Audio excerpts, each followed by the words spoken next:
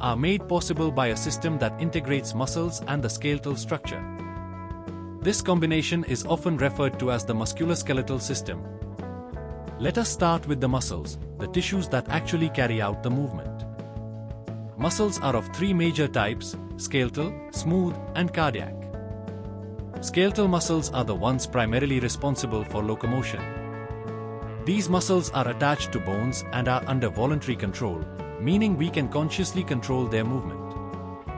They have a characteristic striped or striated appearance when viewed under a microscope. These stripes are due to the arrangement of contractile proteins, which help the muscle contract and relax.